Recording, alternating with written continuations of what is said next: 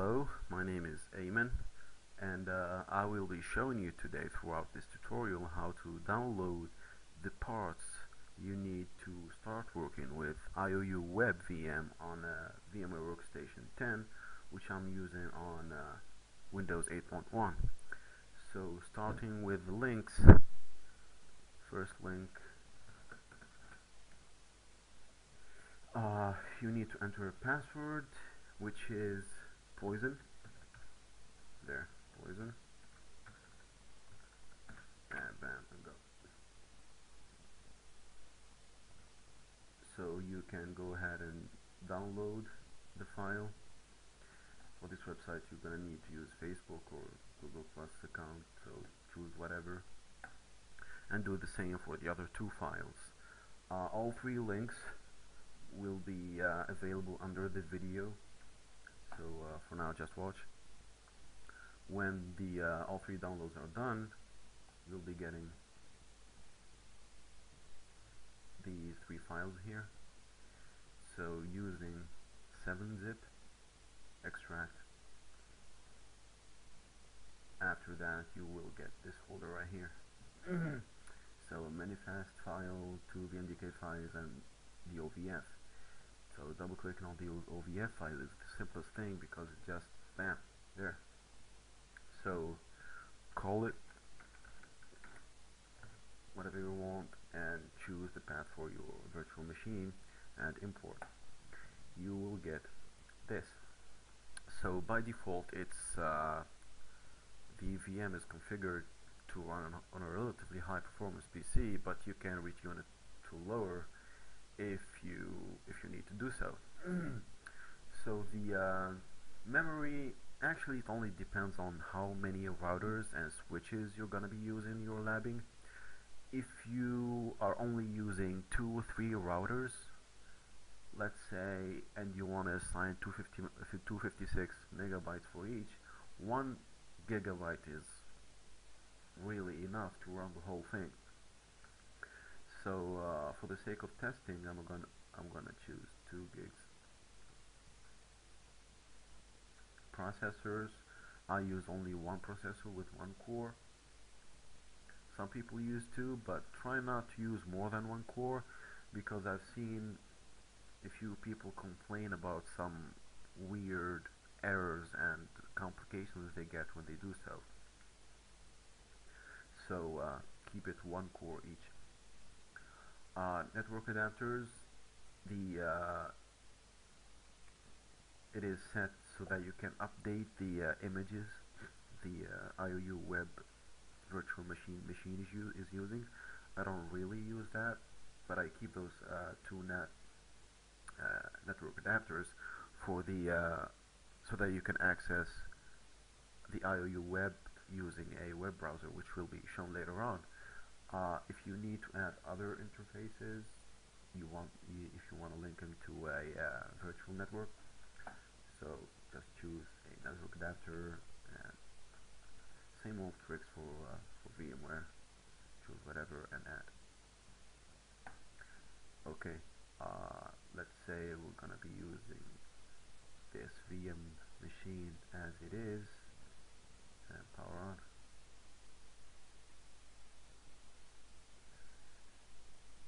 okay as you see it's it's built upon a light version of CentOS. It's stripped off almost everything you don't need except for the basic running uh, of the OS and networking. Plus the uh, binary files you will be needing for the uh, routers and switches. Plus an alternative to uh, IOU to web? IOU to net excuse me which is the uh, IOU Live 86 so because we have because of the uh, NAT, NAT interface you have you will be getting a uh, an IP address. So uh, to log in root password is Cisco. So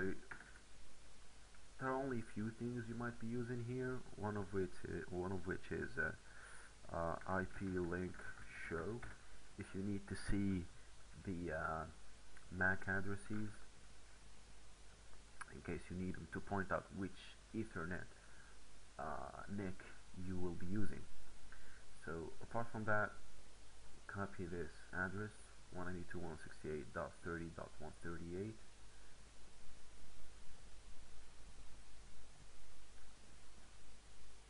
192.168.30.138 and there. There are a lot of labs pre-built into it. You can look online to see the uh, workbooks for it. So uh, knock yourself out to create a new lab give it a name. Test1 description. Test also time minutes I'll keep it zero. Description. And netmap let's say we need three routers. Router 1 on interface 0 slash 0 link to router 2 interface 0 slash slash 0 Oops. and router 1 is also linked to router 3 and router 2 is linked to router 3 also 3 and there. So add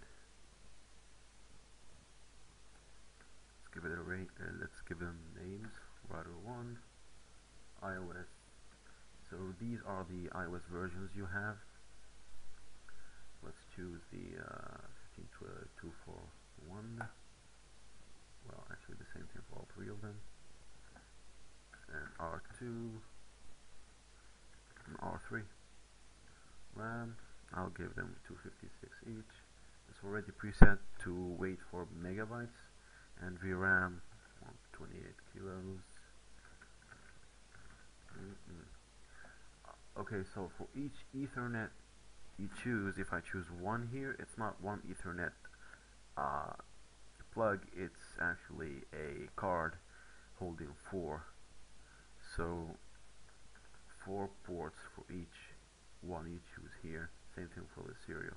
So we don't need serials here. I'll just use ethernet for the sake for the sake of testing. And choose a picture. These are all routers so there router using the other labs you have uh, the ones we, we just shown you uh, you can choose an initial config if you select one of these and yeah out there initial config. We're not going to be using that but you can. Save. Test. And there. It shows you a diagram with the proper ports save positions okay. So to start working on them you need to fire them up. So start all devices. The log is here downloads and logs. If you need check out any errors you might find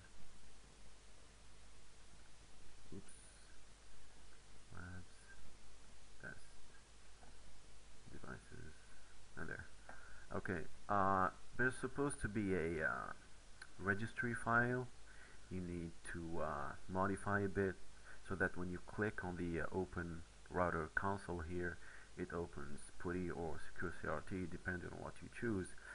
But if you just hover over the button you see here on bottom left on your screen telnet the IP address 2001 which is the port assigned to this router to the second 2002 and 2003 so what I do is just open secure CRT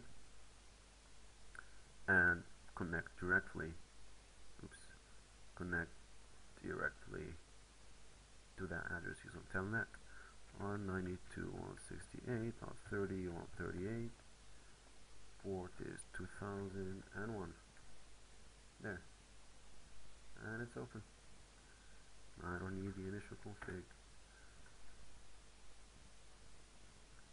same thing for the other router 2 connect. Nope. Okay it's ready. Let's try a simple ping test here. Terminal interface. IP address.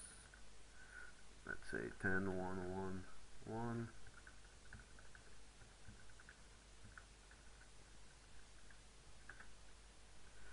no shutdown and 10.1.1.2 for the other router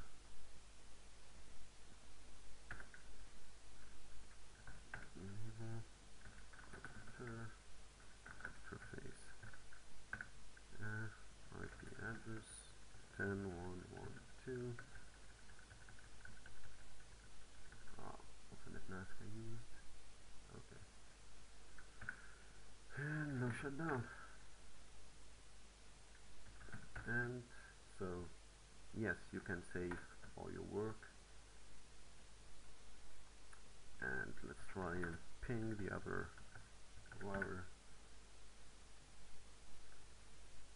and there pinging. And that's it.